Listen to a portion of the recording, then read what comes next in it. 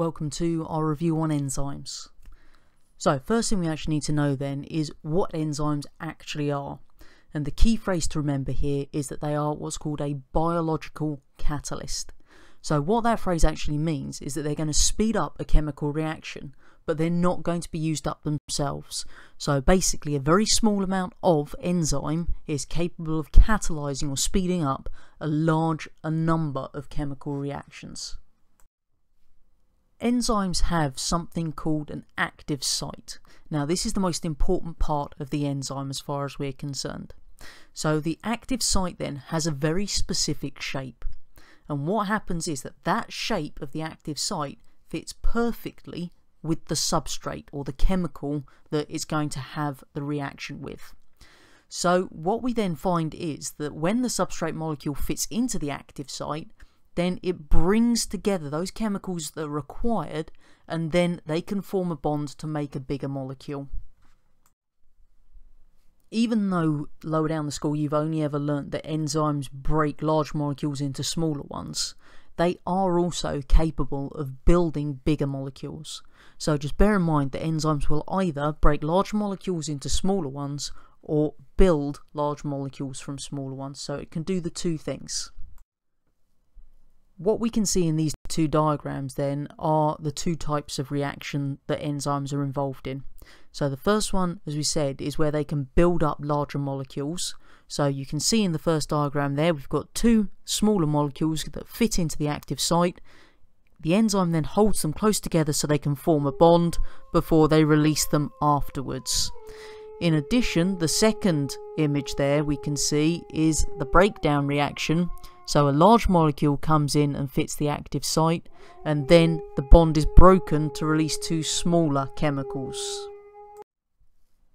One thing we need to bear in mind though is that only one particular type of substrate can actually fit that active site. Because the shapes are so specific, then that means only one substrate is going to fit it. So what we can then say is that the enzyme is specific for that substrate. So this leads us on to one of the common questions they like to ask you about why we couldn't use enzyme X for two different reactions. And the answer you need to give there is that the active site is specific for one particular substrate. Enzymes have what's called optimums. So what we actually find then is when we're looking at temperature and pH, each enzyme has a particular temperature and a particular pH that suits it perfectly. And at that point, it's going to be working at its fastest rate. And that's what's called its optimum.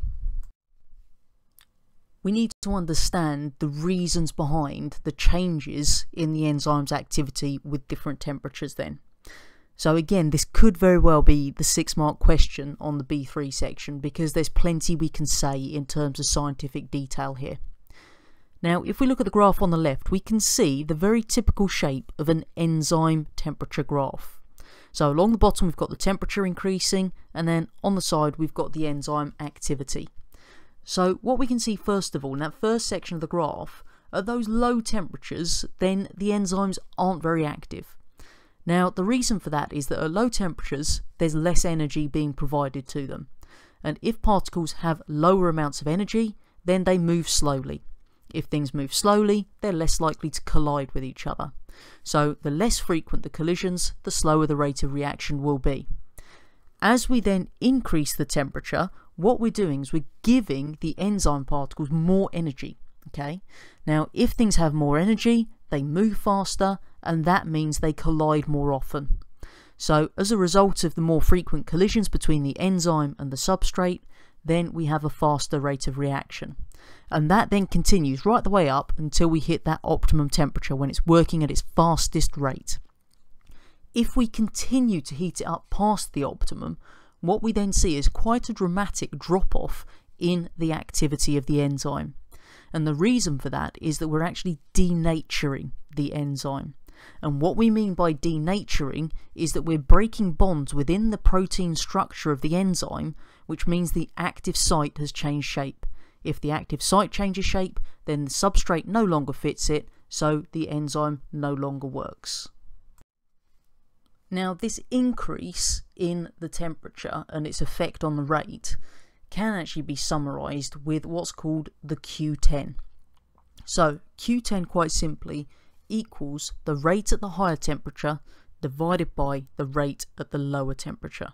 So just bear that in mind. It's very unlikely to come up, but it's always good to know just in case it's a one mark question. Just like with temperature, we can have a similar graph with pH. If you look at the picture at the bottom there, you can see that the shape is a perfect bell-shaped graph. Now, the optimum pH will vary depending on which enzyme we're looking at. So one that's designed to work in the stomach would have a pH of around 2.2 because that's the pH inside our stomach, whereas one that's designed to work elsewhere in the body would have a different pH that suits that particular environment. Now, what we find is if that pH varies too much from the optimum for that particular enzyme, then the enzyme is denatured. So that's why no matter if you go too high or too low with the pH, you get that quite rapid drop off of its activity. And again, because it's denatured, we're just saying that the active site has been changed in shape, so the substrate will no longer fit it.